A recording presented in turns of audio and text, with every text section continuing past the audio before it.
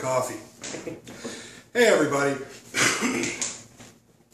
Today I want to talk a little bit about getting started in woodworking. I've been getting a lot of questions about it, and um, it seems that I'm getting a lot of you know uh, newbies, for lack of a better term. And then I'm also getting a lot of subscribers who aren't in the continental United States, and some of these guys may be in places where they don't have access to the kind of equipment that we have access to here. And um, I'm seeing a lot of new people coming into the woodworking um, field, which is absolutely wonderful. It's really nice to see people that are interested in still creating things with their hands and building things. Um, but I see a lot of a lot of videos on online, and there's a lot of good ones. Um, but a lot of the videos online can be fairly intimidating to people who are just getting started in woodworking. We use a lot of terms in woodworking that a lot of people might not be familiar with. Uh, but woodworking is easy. It is it's so simple. Um, it's no more difficult than writing a word. It's it's all about learning a process. Once you know you put a T, an H, and an E, one right after the other, and you have the word the. It, it, woodworking is the same thing. You know, once you learn the process of writing the T, the process of writing the H, and the process of writing the E, and you put those together, you have a piece of furniture or an accent piece. You know, it's just about learning those simple processes taking that first step, then the next step, and then the next step. And once you put those together, you come up with you know all kinds of different ideas, designs, and what and you know pieces. It's not complicated, and probably ticking off some people out there. Now there's some really talented guys out there doing some amazing carving and all kinds of wonderful things.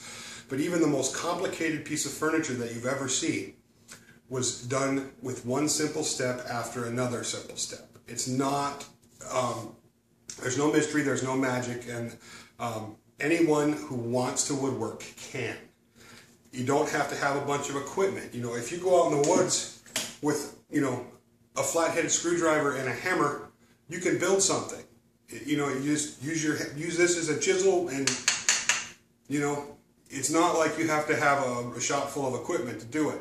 And that's another thing that I see discouraging some people from getting started in woodworking you know, is that there's just, you see all these different fancy pieces of equipment out there that people are doing all kinds of crazy things with. You don't have to have those. You know, it's not that important. Um, there are some things that you're not going to be able to do without certain pieces of equipment, but don't let that limit your imagination and don't let that limit stop you from actually going out and trying the woodwork. Uh, you know, when I first got started in woodworking, I was fortunate enough to have a grandfather who had some shop equipment. My dad was into woodworking, so I had a, a, a basis, a background, you know, and I'm, I come from five generations of craftsmen, so I'm fortunate in that aspect.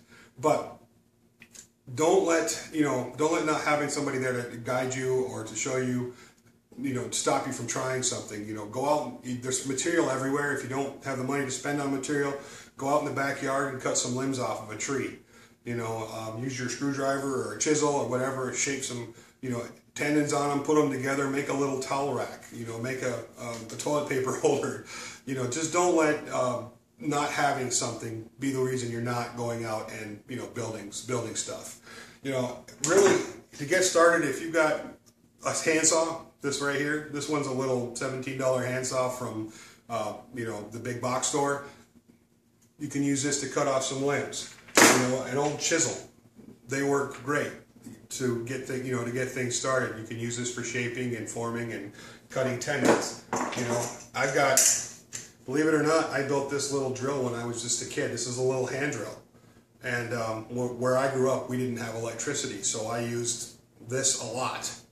Um, you know, don't really do not let not having the equipment stop you from trying something.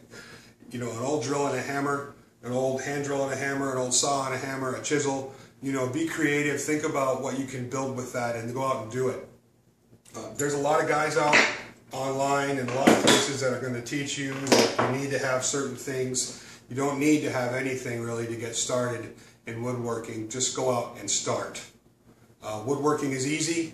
It's about learning processes. Once you learn those processes, you know you're going to do it in your sleep. So, um,